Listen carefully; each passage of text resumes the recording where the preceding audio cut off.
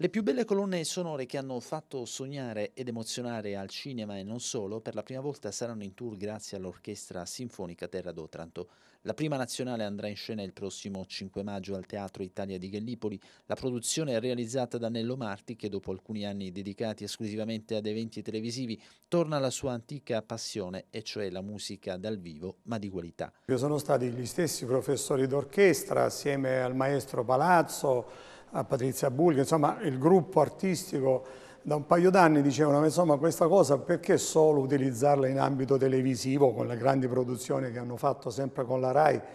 E ehm, io ho detto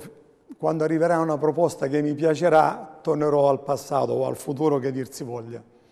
E questa della proposta delle colonne sonore effettivamente è stata una cosa eccezionale nel senso che forse per la prima volta in Italia un'orchestra sinfonica propone al pubblico in maniera diciamo popolare, nel senso accessibile a tutti le, i grandi temi dei film che ci hanno fatto anche sognare, quindi La vita è bella, C'era una volta in America, Morricone, Nino Rota come autori, quindi voglio dire i, i più grandi film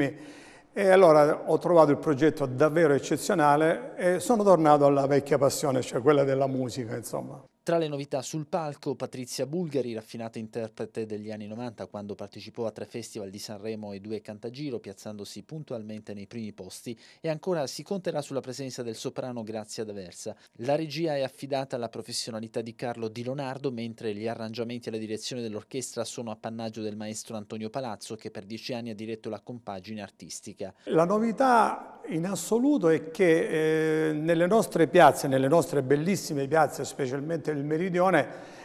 diciamo, vediamo da un po' di anni più o meno le stesse cose, belle logicamente, ci mancherebbe. Il uscire fuori dal teatro in, qual, in qualche modo, andare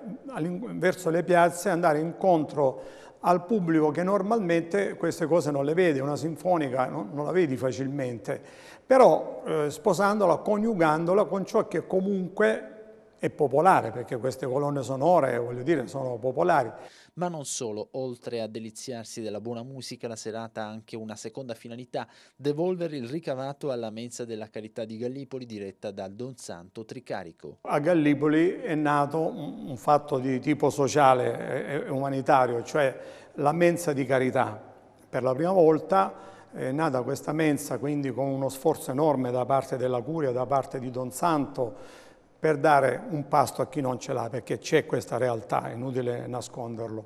E allora abbiamo ritenuto di eh, virare, se così si può dire, su Gallipoli,